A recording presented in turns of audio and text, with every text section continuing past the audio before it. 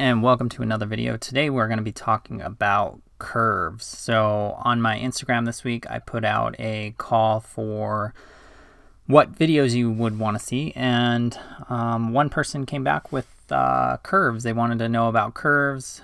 So here we are. We're going to walk through the basics of curves, show you what they are, show you how to use it, and then show you how you can use it to enhance a photo and kind of what it does and just explain the overall functionality of it. So first of all, what what is curves? You hear that word a lot in photography and Photoshop and essentially what it is is it's an adjustment layer. So if you come over here to adjustments, you'll see here on the top row in the middle there is a curves adjustment layer. So let's go ahead and click on that. So here's what your curves panel look like and you can see that it put it on a new layer above.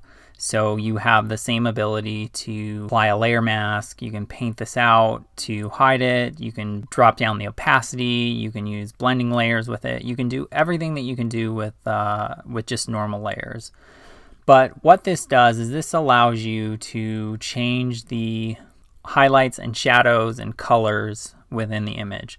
So just to kind of break down where we want to start here, if you look at this, so you have a graph here and it goes from darks to lights here and then from darks to lights here.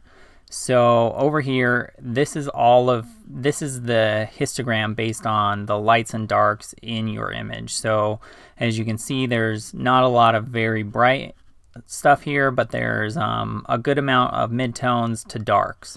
And you can see that in the image. So we have a lot of darks in the wheels, and the grill, and the lower car here, the windshield, the top of the car, over here in the background. A lot of this is what you're going to see in this general area. So what what a lot of people use curves for is they'll kind of just come over here, draw a point, lift it up, and draw a point and drop it down. So now what we just did is we basically made the light areas lighter because we pulled this point up into a lighter area and we pulled this point down into a darker area. So again, going back to that, this is the graph of darks to lights, and then same thing over here, darks to lights. So this is what people call an S curve on the curve. So if somebody ever says, you know, we need to apply an S curve on the curves, or I applied an S curve to get some more contrast, this is what they're talking about. That's the general idea of what most people use curves for is it's a lot of times it's used to add contrast back into the image. So if you can see, we just made two simple points, moved it a little bit, and you can see the image went from pretty flat to we got some punch and some contrast into it. So let's go ahead and reset that. Going down, so we talked about darks to lights, darks to lights. We talked about this graph line here. This is your histogram.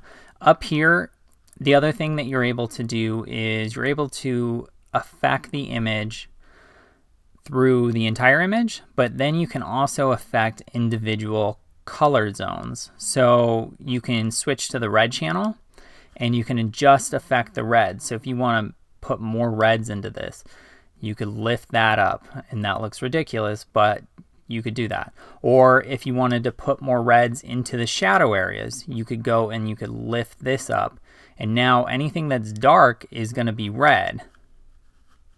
Now one thing to know when you're in these individual channels, if you lift up on the curve, which is this way, it's going to apply that color. So we're in the red channel, we're lifting up, it's going to apply more red.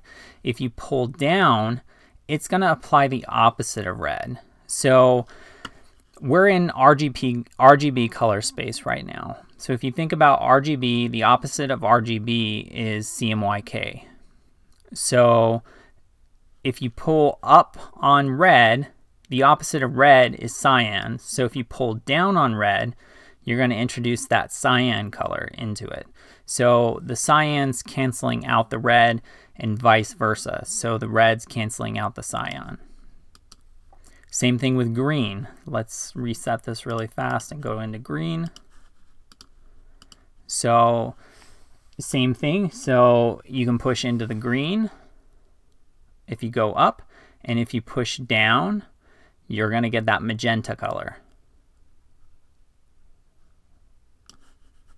We'll reset it again.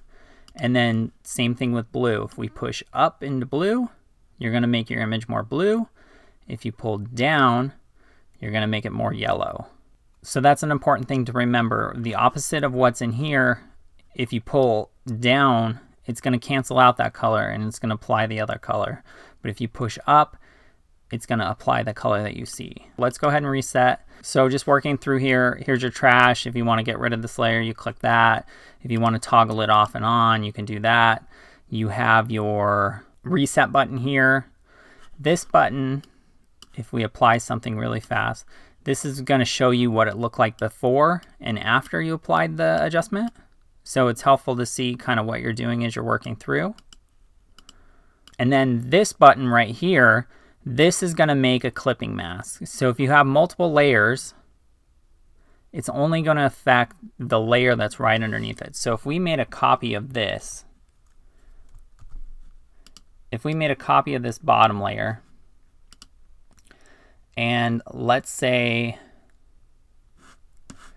let's do this. Let's apply a layer mask to this really fast just to show kind of what this does.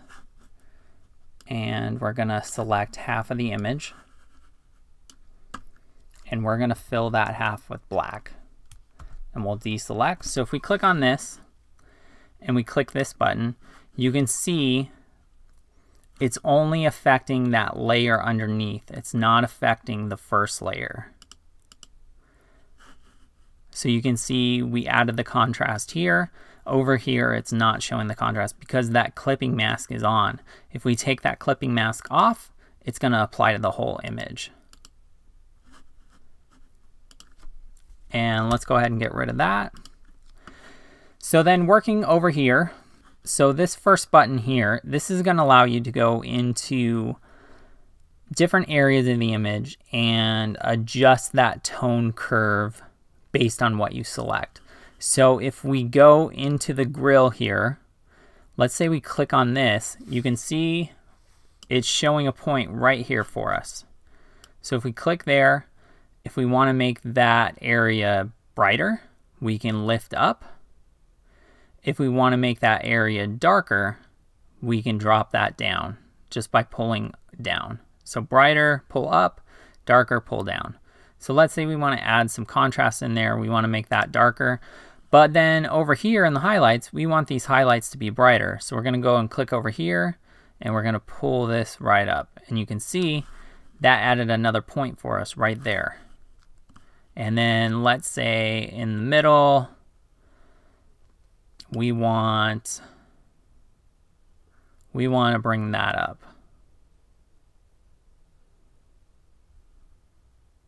we can do that. So essentially what we did is we made the darks really dark and we made the midtones and the brights brighter. Maybe not something that you necessarily want to do, but just illustrating the point, that's how you'd use this tool. So if you want this area darker, you just go in, click, and drop that down, and it pulls it exactly where it is on the tone curve. So the next one you have here is you can set your black point. So if we want our black point to be this, you can see everything gets significantly darker. We brought everything to that because this isn't 100% black. We're saying everything on the black point beyond this is going to get flattened over. So if we click that, you can see everything got darker and you can see the, the lines there pulled those over. So if we go into the red channel, you can see it pulled the reds over, it pulled the greens over, and it pulled the blues over. So where that particular item was, if we click on something that's more dark, like this, it's not going to have nearly the effect that it would. And same thing if you click on something that's significantly brighter, like this, it's going to really darken everything down because you're saying the black point starts here not way over here where it was. Now, same thing here. This is your white point. So this is your highlight and we don't really have anything that's super bright other than the headlights in this. But if you click here, you're going to get the same thing. It's going to pull all of these over right to where this point was. And then in the middle here, you have your neutral gray point. So let's say we want to select that as neutral gray. And you can see that was pretty close to neutral gray because it didn't change a lot.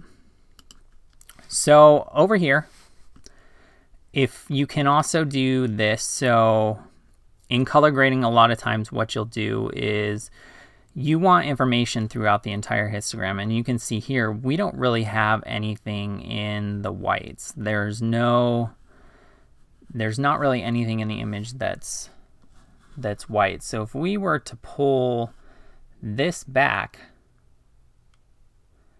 we could pull this back to about here and not lose any information. And a trick to see this is you can hold down your option or alt key, I think, if you're on Windows. And you can see when it starts to clip. So you can see in the lights, it's pure white, which would be expected. But you can see as we start pulling this back, we're starting to get a little bit of whites in the in the sky. So maybe we go right before that happens and click there. So if we click before and after, you can see that just brightens up the overall image a little bit. We didn't really change a lot. What we did is we just started this white point where information actually starts.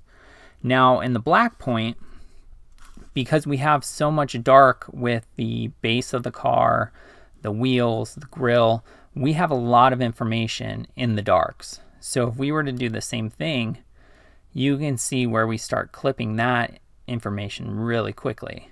So maybe we pull that back to here just before we start introducing anything into the car. So again, before and after, we just added a little bit of contrast on each end. Now, another thing that you can do is a semi-popular look that you see is sometimes you see where the blacks are kind of like a muted gray color. You can also move these points up and down. So this will introduce a little bit less contrast, but it's another way that you can get that kind of look. So if you were to pull this up, the image gets flatter, but you start getting that kind of gray, muted, dark color. And the image is really flat, so we'd want to go in and add some tone curve here to be able to bring that back. But I mean, that's a pretty popular look that you see, and it's basically done by just pulling this up a little bit, pulling this down a little bit, and pulling that up a little bit. So you're bringing, you're making the highlights a little bit brighter, you're making the shadows a little bit darker, but you've pulled that black point up on this side, making them a little bit more washed out. Now you saw in here that I put a point in the middle, and the reason that I did that is, let's go back to where we were. If I were to pull this here, you can see it affects this entire curve all the way down. And that's not something that we necessarily want. So one way that you can get away from that is if you click right in the middle, and it doesn't have to be right in the middle, but click anywhere along it, that will kind of lock that point in, and then you can go in and you can adjust on either side of that. So it lets it not affect it as much.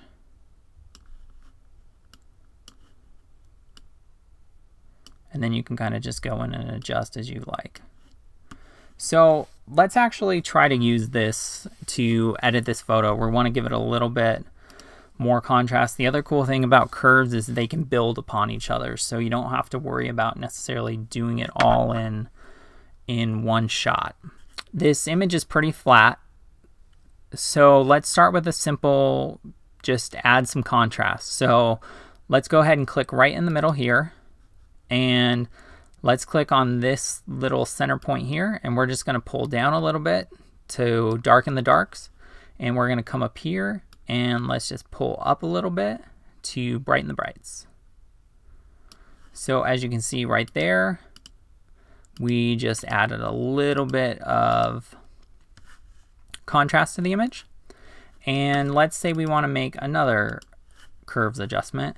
And let's say for this one, we want to make the sky let's say for the sky we want to add some yellows to the sky. So in here, let's say we want to bring this down. So again, opposite of blue is yellow. If you wanted to make the sky more blue, you could do that. You could bring it up. But let's say it's at dusk, we want to make it a little bit more yellow. So we're going to click there. And then let's say in the shadows, we want to add some more blue.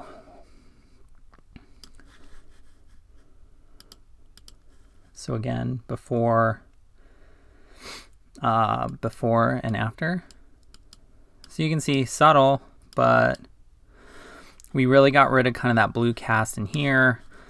It looks more like it's at sunset, just so we can see what we're doing with the layers. And let's go in and add another curves layer. So we're going to try to just edit this whole image using curves. So let's say overall, kind of like the tone. It's at sunset. Um, I like the mood. The problem is the car is, the car overall, I feel like it's blending into the background a little bit too much. So we want to bring that out as more of a focal point. So let's go over into curves and then let's lift the center point just so we make everything a little bit brighter. And maybe that area is good right there. But we only want that to affect the car. So you can do one of two things. We can, since we have black as our foreground color over here, we can hit Alt Delete and fill that layer mask with black so that hides everything. Then we can grab a brush tool and we can switch our foreground color to white and we can just paint in the middle over the car. Or the other thing that you can do is since we have a white layer here originally with black as our foreground color, we can go in and we can paint the opposite. So if we want to darken down the road and over here, and maybe this area right here. And then the good thing is, since this is an adjustment layer, we can go in and we can say, all right, well, maybe we make that a little bit brighter.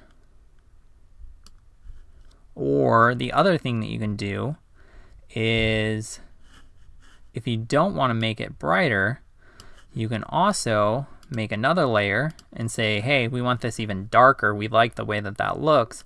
We can bring this point down and then we're going to fill that with black again. So we have black as our foreground color. We're going to hit Option or Alt Delete. With our brush tool, we're going to hit X to get white. And now we're just going to come in here and we're going to paint right around here. So with these two layers, you can see if we click this on and off, we made the top of the car significantly brighter and we've darkened down that. So now it brings that attention into the car. With curves, you can also use it to add a vignette. So if you want to pull this down, you can see everything got significantly darker. You can take your brush tool and you can just come and brush right in the middle. It helps if you hit X so you have black because you're painting on a white mask. So if you come in here you can see that we just made a little a little vignette. So again, just pulls the eye in. Um, now let's say we lost some detail. Let's say we want some detail back in these wheels. So another thing you can do is make curve adjustment layers and just target them to specific areas. So we really want to bring up the highlights on those. And maybe we want the blacks to be a little bit darker, but we really want to focus on that highlight. So again, let's hit Alt Delete to fill that layer mask with black. And then let's go ahead and zoom right in here. Grab our brush tool. Let's make it a little bit smaller using our left bracket key. And we're just going to click and we're going to drag right in here. We're going to make sure we change our color first though. And you can see we're just brightening up that wheel. We want to do the same thing on the back. So now if we look at that, click before and after, you can see we added some highlights to that. If you want to add more, you can just pull this top layer up and it'll brighten that up. So really makes them just kind of pop. Again, kind of all personal taste. If you if you think that's too much, you can bring it back down or you can also bring the opacity down. Again, that's the power of having it on its own layer as an adjustment is you can go in and you can fine fine tune all these things. Um, you can also go in making adjustment layer or another curves layer. We can just select the windshield. Let's say we want that darker. And we don't necessarily want that to affect everything. So again, we can do the same thing. Layer mask, fill it with black, go in with your brush tool with white and just kind of paint over that to make that windshield a little bit darker.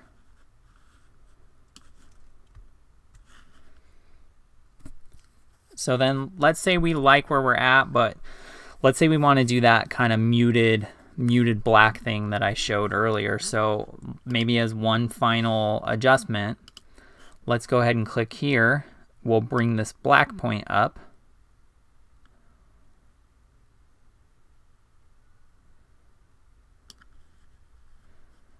and maybe we want to add just a slight little S curve on top of that.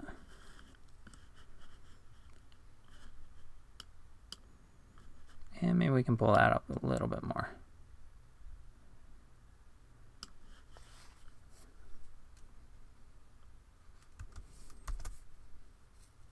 So I have no idea what this looks like before and after, so let's go through here really fast. Let's hide these layers. and let's look at our before and after. So I don't know if we made this image look better or worse. We definitely added some contrast. We added kind of some stylization to it. I was just kind of trying to show you all the different techniques that you can use curves for. You can really get kind of crazy with this if you want to go into the different channels and add different colors. So if you don't like the greens, you want to take out some green. If you don't like the blues, you can take out some more blues and just see how those kind of interact with each other. But hopefully this broke down kind of overall what the curves tool is, how you can use it in your workflow, and kind of just showed you some of the tricks using the click and drag option showing you how the different sliders and things like that work. So, so hopefully you found this video useful. Hopefully you found some techniques that maybe you can incorporate into your workflow or if you just had general questions about curves and how they work, hopefully it helps shed some light on that. So until next time, take care.